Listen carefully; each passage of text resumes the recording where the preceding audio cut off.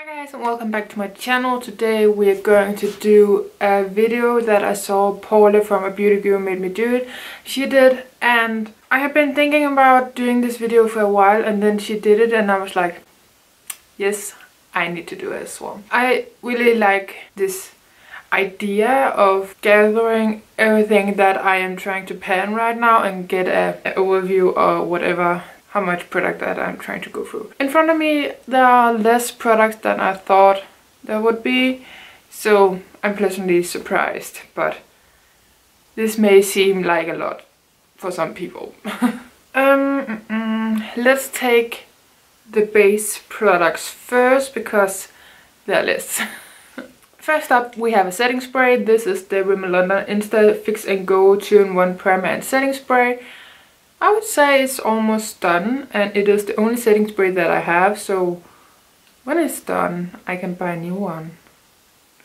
Don't know if I will though, but that is the first product that I'm panning. This is the W7 Princess Potion Complexion Booster and Primer. This is a so-so product for me because I don't think it is working for me in the morning time. I need to try to use it as a serum or nighttime face cream, you know, like an oil or something. This is the foundation that I'm panning. It is the W7 Face Fantasy Matte Finish Foundation. I do really, really like this foundation. I have it on right now mixed in with a darker shade because I have apparently gotten a tan and I'm not as pale as paper anymore. This is almost done and I'm really excited about it because it's not my favorite but I do like it. I'm looking forward to pan a non matte foundation. Two concealers that I have in projects and that are smidgen too dark for me right now.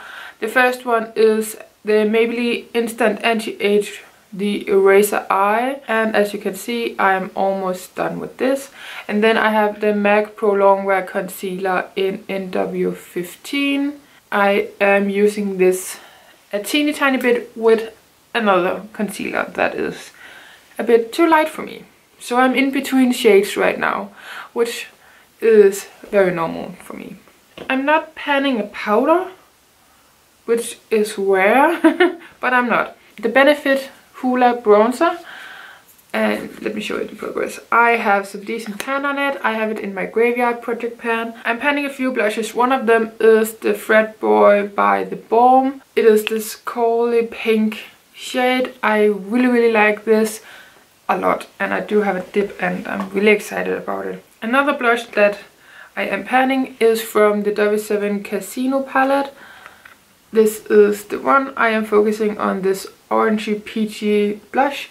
I do have it on today with another thing that I am showing you in a minute. For highlighters I have two here. One of them is a Franken highlighter from a face palette that I will show you. So there are two highlighters in this one from a palette and then a little bit from here and then I drew this in my whole collection project pan to work on so I'm also working on this and this is a baked highlighter so it will take forever but I'm really excited to be working on it because it's really really really really nice. It is from Technic, it is the Get Gorgeous highlighter if I didn't mention that. The Franken highlighter is partly from the Technic highlighter and then a highlighter from the Gwen Stefani for uh, face palette from Urban Decay.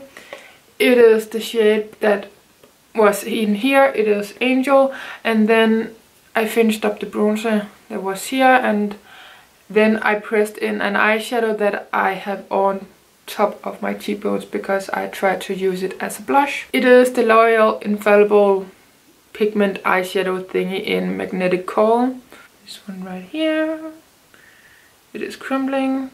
I forgot the highlighting stick. I am working on a cream highlighter. It is the W7 Strobe and Go strobing stick. This is a champagne highlighter. I use it every single day underneath my foundation or on top. Depends on how I forget my routine or remember it for that matter. I like to pan a cream blush, a powder blush and a cream highlighter and a powder highlighter. So I can go through my stash and layer and stuff like that. So this is the cream highlighter that I'm working on. The cream blush that I'm working on is this red one. Spoiler alert though. It is this red one from the Balm Bon Jovi palette. So this is my last cream blush I believe in my collection which is really really exciting but it will take forever because it is red. Back to the eyeshadows. I have a Neil Shore eyeshadow. It is a powder to cream eyeshadow in soft copper. I just drew it in my whole collection pretty pen I believe. So it is this one right here. I need to figure out how I am using this together with other products that I'm panning for eyeshadows because it doesn't really layer well with some of these.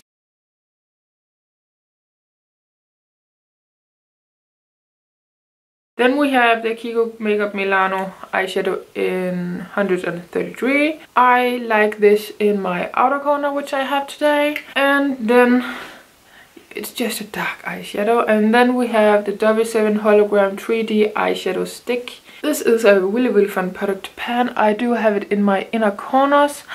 I have that every day. and it is this pink one, but it leans more red and kind of duochrome green when you put it on. It has a pink base though. I think we have lip products and eyeliners and then we have palettes last. Okay, let me take the other eyeshadows that I'm working on. This is my smaller Z palette, that was the cream blush. And then I am working on these single shadows right here. This is a Makeup Geek Cosmopolitan that I'm working on. A beautiful peachy pinky duochrome. I use that all over my lid.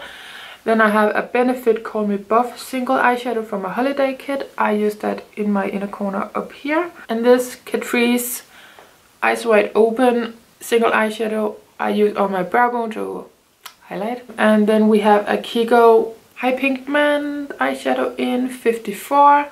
It is a beautiful purple. I do set my liner with that that I'm going to show you in a minute. Then I am working on an eyeshadow from the W7 Enchanted palette. I just pulled this into a project and I am working on Mystical. I've used that once or twice right now since the update and that is mostly because I am panning this Morphe 35OM palette which is orange and browns. As you can see there are a lot of shades right here lots of browns so I need to find a way to use this and this brown shade at the same time and still make progress. I haven't found it yet but I will. Another palette that I'm working on is my 2x1 palette for right now. I have a whole series going on so I'm working on something new every two weeks. I am working on the Zodiac Love Signs from BH Cosmetics. I love this palette. When this video goes up, I will have used it a few times. Oh, a product that isn't an eyeliner, or oh, maybe it is. It's more of a cream shadow. It is the NYX Jumbo Eyeshadow in Milk. It is getting so tiny. I use it every single day as a base for my eyelid shade because it is kind of sticky and because it's white the shadows I put on top are more opaque. Um, so I really, really like this pencil. It's going very slowly, but I have steady progress on it. This is the purple burgundy eyeliner that I am using regularly on my upper lash line. This is not purple when you put it on, not anymore at least. So I do set that with the purple single shadow from Kiko. I am working on the Trend It Up Metallic Gel Eyeliner in... Hmm, what are you called? 50? Metallic Bronze eyeliner or something. It's really, really beautiful. And then I am working on the Rimmel Exaggerate Waterproof Eye Definer eyeliner in Rich Brown. And then I am working on the NYX retractable eyeliner in aqua green. Then I have the W7 Double Prime Lips and Brows Duo Primer. So as the name says, this is a lip primer. I use this every single day once and that is in the morning time. And I do find this working. It's a little bit weird, but I'm really enjoying this when I remember to use it. So maybe I'm lying, I don't know. This is the Imité makeup lip and cheek stain tint, whatever. I use this as a lip stain uh, before my lip liner and uh, lip product. There's not a lot of product in it anymore, so maybe I can use this as a cream blush. I just need to get it into the routine on my lips and then maybe I can work it into a routine for my cheeks. I believe we only have lip products left. I am working on one, two, three, four, five, six lip products and one of them is a lip liner. It is from eBay. I have been working on this for so long, since like August, because it is in my panning games. It is so disgusting because I use it today. Um, so that is how it is looking all of the time. I do sharpen it for the updates because it's disgusting. a lip gloss that I'm working on is the W7 Lip Tripper Holographic Lip Gloss. This is a lip crayon from Me Me Me and it is called the Velvet Finish Lip Color in Playful Peach. It is so tiny. This is the Maybelline Elex Color Elixir Lip Lacquer in Alluring Co. It is an orangey pink lip gloss. It seems like it's orange, but on my lips by itself at least, it is pulling pink. But when you put it on top of this crayon, it pulls that color, the orangey coral shade. So that is really really nice that I can play around with the color tone of this lip gloss. The nude lipstick that I'm panning is the Estee Lauder Pure Color in Pink Berry. It is a lasting cream lip lipstick. I love this one so much. It's so beautiful. So this is kind of the cool tone nudie. Oh, I forgot the one that I have on my lips today. I will go get that in a minute. That is also a nude. Oh, I forgot two. I guess I am panning more lip products that I thought. The red that I am panning is the W7 Matte Metallic Mattes lipstick in Neptune. This is a beautiful, beautiful red shade that I'm so excited. Look at that. I'm so excited to be panning this because it is so beautiful. I'm not sure that I can finish it all this year, but I'm trying at least. Let me go grab the two lip products that I'm missing and I will be right back. So the two last products that I am panning, I believe, I hopefully haven't forgotten any more, otherwise it's really insane how much I'm panning. So the first one is the e.l.f. lipstick in Fairy Fuchsia. I have so little left of this. So there's only this little bit left of the lipstick. I love using this. This is the warmer nude that I am using in the morning time. And then the one that I have on my lips today, it is the liquid lipstick that I'm panning. It is the NYX Soft Matte Lip Cream in Cannes. So this is a warmer nude as well, but I do touch up with this throughout the day and then I apply the e.l.f. lipstick in the morning every day. And if I don't want to wear a warm nude color, I am wearing either the red, the cool tone nude or the orangey one.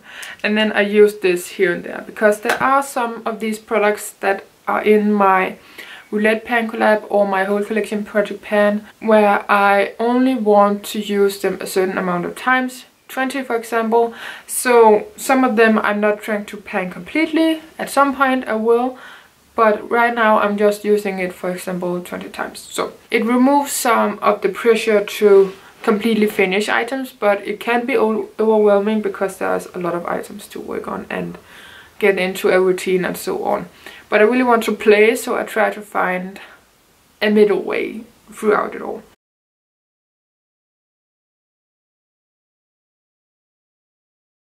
I hope you guys enjoyed this video. I have been here for way too long now.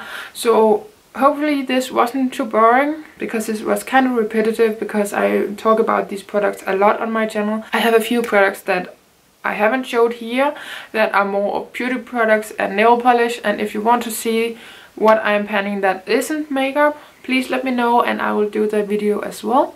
And yeah, until my next video, please take care.